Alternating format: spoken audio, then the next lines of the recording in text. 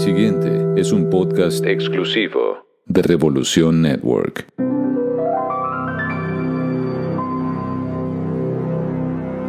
Hola gente, bienvenidos a otro episodio de Tuned Afinado. Hoy el título es muy épico, La misión. Me gustaría compartir lo que es solamente una opinión, porque no creo que exista solamente una forma de hacer esto, a pesar de que admito que por mucho tiempo con arrogancia lo pensé. ¿De qué estoy hablando? Bueno, estoy hablando de lo que significa ser artista. Antes todo, hagamos una distinción que para mí es crucial. Eh, que ser artista corresponda con la profesión o no, para mí no tiene nada que ver. Siempre pensé que el arte y la abstracción son una forma de ser, un estilo de vida, una forma de vibración del intelecto y del alma de una persona. Eso significa que un músico, un escritor, un escultor, un pintor full time eh, y alguien que lo hace en su tiempo libre son ambos artistas. Sé por experiencia propia cuán duro es convertir la pasión en profesión. Así que, bueno, todos sabemos que obviamente podemos amar algo, pero no logramos la forma de que esto nos traiga eh, pan en la mesa y que nos pague el alquiler.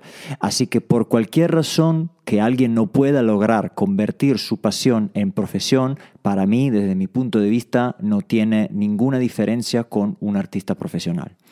Bueno, dicho eso, me encuentro pensando a menudo sobre cómo todo esto empezó para mí a mis ocho años y cómo la música siempre me persiguió, sobre todo cuando yo trataba de renegarla y huir de ella. Fue así que a los 23, 24 años más o menos me quedó claro que todo lo que quería era levantarme todas las mañanas y pensar solamente en la música. Sin importar lo que hacía o pensaba, ella siempre estaba ahí en mis pensamientos. Así que después de haber renunciado a un, a un, trabajo muy bien pago, con muchos beneficios y que me llevó a viajar por el mundo durante 12 años, empecé a caminar como artista profesional y me di cuenta que la música no era mi causa, sino la consecuencia. Pero la consecuencia de qué exactamente? Bueno, me di cuenta que le dediqué toda mi vida porque es el portal que me conecta con mi objetivo, mi para qué, mi fin más grande. Yo creo vigorosamente en el poder de sanación de la música y más en general del sonido y de las frecuencias. Son temas que me apasionaron un montón en los últimos años y que no quería, eh, y, no quería y no creía las dos cosas al principio, porque, o sea, un poco porque me aburrían, la parte así de producción musical la veía muy aburrida, muy de nerd, eh, así que nada, trataba de evitarlo. Pero bueno, lo, empecé a estudiar estos temas, estos asuntos y quedé asombrado eh, con el potencial y, con las aplicaciones que, las frecuencias y el sonido tienen y que ya veremos son mucho más importantes que ser en la lista de las 10 canciones más escuchadas en el verano, o sea, obviamente para mí. Pero bueno, dedicaré episodios futuros a este asunto porque sí creo que todos debamos aprender y saber un poco más de esto, no solamente por las aplicaciones, que esto puede interesarles o no, sino porque veremos que somos literalmente hechos de ello, o sea, de sonido y de vibración. Así que cuando estaba planeando el cambio desde mi ex profesión a la de artista full time, les puedo decir con honestidad que al principio solo me enfoqué en hacerlo sustentable. Obviamente les mentiría si dijera que no quisiera ser rico y famoso, pero espero que me puedan creer que suene auténtico cuando les digo que cuando me preguntaba, bueno, a ver, ¿cómo puedo vivir de eso? Descubrí que estaba dispuesto a hacer hasta las cosas más básicas, las cosas más aburridas, eh, las cosas más humildes en, ámbito musical solamente para despertarme y pensar en algo que tuviera que ver con eso. Así que fue ahí donde entendí que era un enamoramiento sincero, porque como a una persona, cuando uno puede decir que ama a otra persona, cuando no solamente ama sus momentos buenos, mejores, sino cuando ama también las partes, digamos, más difíciles, más negativas. Por eso con el pasar de los años, donde claramente al principio mis mayores preocupaciones eran pagar la renta y tener una vida más o menos digna, después poco a poco me encontré naturalmente prosperando de forma espontánea, descubriendo cuántas creencias limitantes hay que limitan la forma en la cual pensamos y actuamos, especialmente hacia nuestras pasiones y nuestros amores verdaderos. Bueno, Por ejemplo, yo siempre tuve muchos estudiantes, eh, sean por las clases de canto que doy, como para los cursos de producción o mezcla. Um, y todo el tiempo, obviamente, la gente me preguntaba, bueno, ¿cómo logro vivir de mi propia arte?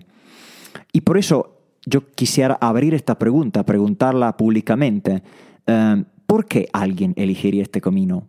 Me lo pregunté muchas veces, porque digámoslo con claridad, el porcentaje de gente que llega a ser rica y famosa es extremadamente baja. A pesar de lo que uno pueda pensar, lo veremos en otros capítulos donde les contaré un poco más de la industria discográfica, les aseguro que el porcentaje de gente que gana millones y que se convierte en una estrella es ínfimo y recontra mil bajo. Así que desde una mirada estadística más práctica y económica, este negocio no tiene buena estadística y no es buena inversión. Entonces la pregunta sigue, ¿por qué alguien lo haría?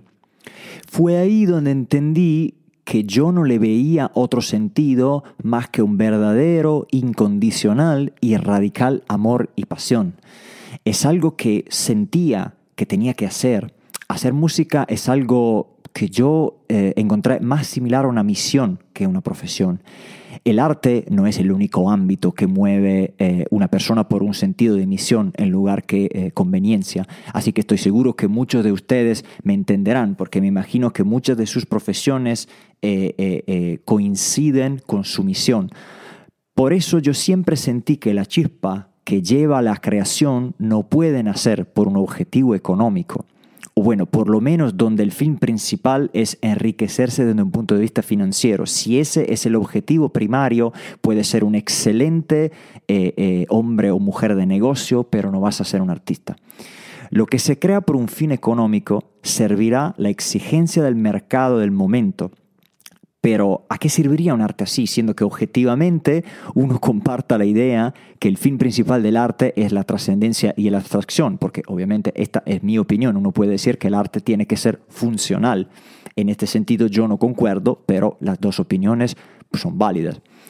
Si bien notan, lo que hoy en día se categoriza como mejor vendido, a menudo es algo que impacta al llegar, pero después se olvida pronto dada la sociedad muy fluida y líquida en la que vivimos. ¿Quién quisiera escribir algo que se note un día y se olvide el día siguiente? Yo personalmente seguro no lo quisiera. En la época moderna, de hecho, no sabemos nada sobre el valor. Perdimos totalmente la brújula y usamos herramientas equivocadas para fijar el valor de algo, que después lo creemos y lo inscribimos dentro de nosotros, dentro de nuestro chip. Les doy un ejemplo. Podemos gastar 500 dólares en zapatos y luego contar los céntimos que queremos ahorrar cuando compramos los alimentos, la comida. Pero la pequeña diferencia es que lo que metemos en nuestro cuerpo afecta directamente la calidad de nuestra vida, mientras un par de zapatos de 30 dólares y uno de 500 hacen la misma función. Si lo pensamos, esto básicamente se extiende en casi todos los aspectos de nuestra vida, porque somos consumidores. Ehm, casi siempre nuestros recursos están mal gastados exactamente porque cada uno de nosotros desarrolla una idea del valor muy distorsionada. Así que notarán que llegando a la música, los artistas más escuchados son las o los cuyas canciones se escuchan livianamente, sin prestar mucha atención, y que después se olvidará pronto en cuanto salga otra canción. Y esto también crea la necesidad, el hambre de más y más y más y más, sin preguntarse por qué y, sin parar un momento para dar valor artístico a la canción que se produce. Otra vez, quiero marcar que aunque yo no concuerde, no, no es una cuestión de odiar o que me molesta em, que algunas personas utilicen el arte y la música como herramienta eh, para, para lograr su fama y riqueza personal. Yo creo que cualquier ámbito puede ser usado en diferentes formas, pero vuelvo a lo que es el título y, lo que es el asunto de hoy. Es una opinión personal sobre cómo yo pienso que el arte podría servirle a la comunidad.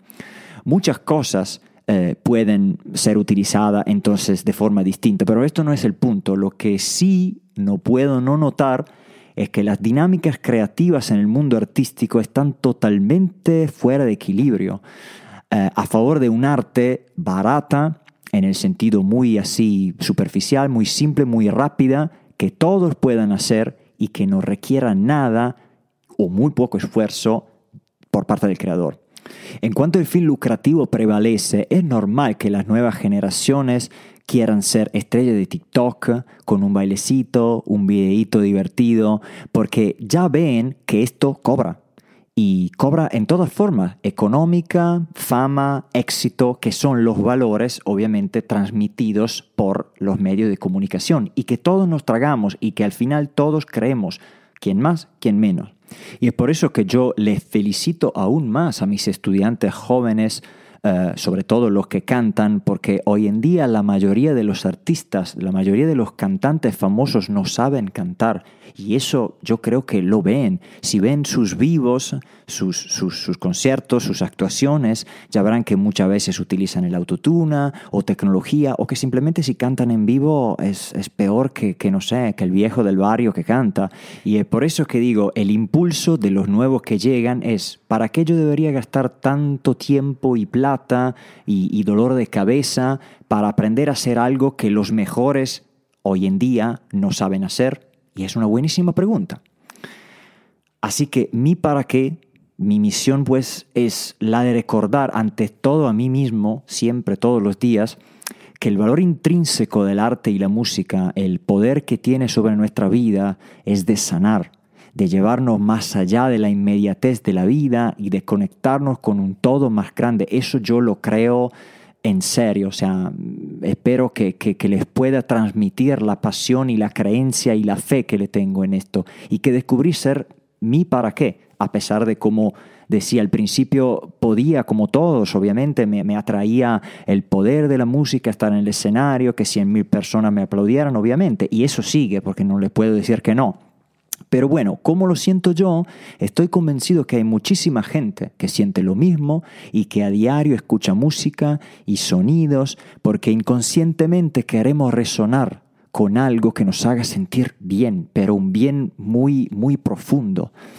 Lo sé, no es fácil mantener nuestras orejas afinadas en un mundo tan ruidoso, lleno de distracciones y lleno de música que de hecho es solo ruido, porque tiene que tapar un silencio que de otra forma nos asustaría. Sin embargo, que sea más difícil escuchar y discernir el valor de las cosas no quiere decir que es imposible. Y como dijimos en el primer capítulo, la lección es nuestra. Nadie nos obliga a ir siempre por lo más rápido y lo más simple. Obviamente que nos toma más tiempo excavar y, y la búsqueda de lo que tiene un valor intrínseco, pero bueno, el ruido es como la niebla.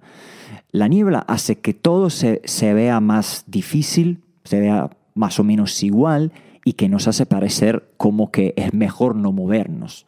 Pero quizá adentrándonos un poco más y afinando nuestra vista, la belleza sigue ahí y puede ser más grande que nunca. Bueno, amigos y amigas, este era el tema de hoy, la misión, mi para qué, y estoy más que convencido que es el para qué de muchísimos otros artistas y otras artistas en el mundo. Así que, como siempre, lo compartan, me, me, entreguen sus opiniones, sus historias, porque eso también sería bueno. Llegará un momento donde algunos de estos capítulos serán historias compartidas o visiones compartidas por ustedes Así que les agradezco como siempre y nos vemos en el próximo capítulo. Chao.